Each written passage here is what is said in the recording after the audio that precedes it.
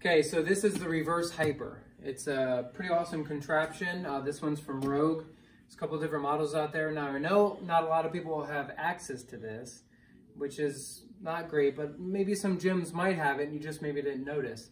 But basically this is a really good thing for runners. Um, the basic idea is that this little cantilever here will pull through to really help teach activation of the low back muscles and glute muscles. But the way it swings kind of through, it really helps to decompress the disc as well. So basically, if we're looking at the low back, so our spine is designed to have three subtle curves, right? And it's basically designed that way so that when we run and we land, the spine absorbs a little bit of shock and recoils off. So basically think of like a spring. So when we land, between gravity and ground reaction forces, we gain a little bit of stress and then we recoil off with a little bit of stress. So a lot of people, low back, everybody should have a nice subtle forward curve in the low back. But a lot of people will have either a straight back or have an excessive curve or a shallow curve, but basically some imbalance that'll create pain within the back, maybe through the disc, but at least through the facet joints.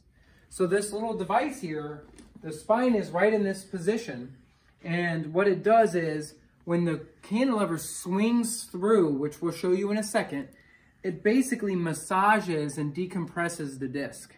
So this is the maneuver what it's doing. This is what it looks like when you're standing. So basically when you're running, this device teaches the compression and relaxation of the disc within the back to really massage and nourish it.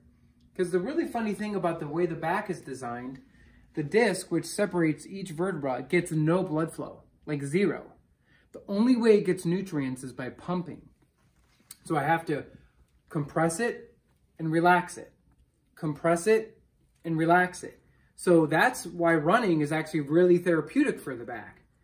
This device helps to really encourage that extra little motion to really help nourish the disc. So I'll show you how to do it now. It's super easy. Um, but again, you can't miss it once you've noticed it in a gym or whatever. And, and, again, like I said, not a lot of people have access to this, but if you do, you should definitely use it if you're a runner. And again, to help create good body carriage and extension of the hips and help the disc as well. So you're gonna go through the strap just like this and you're gonna hike yourself up onto the platform and grab onto the handles, just like that.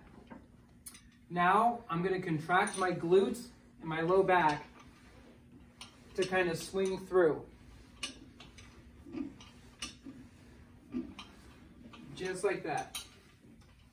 Now, another little caveat to help really make this a better exercise is the little trick here is you can get better motion and, and like work of the disc if you contract right through here. So basically, as I'm jumping onto the platform, I will breathe into my lower abdomen to really decompress the disc so that I can motion it more. So if we're looking at the spine and I breathe into my lower abdomen, I extend the spine a little bit and now I can motion more I can take quite a bit more pressure off the nerves. So it's really therapeutic.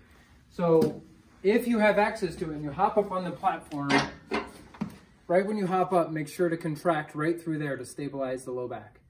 So really awesome maneuver. This is a great exercise to do.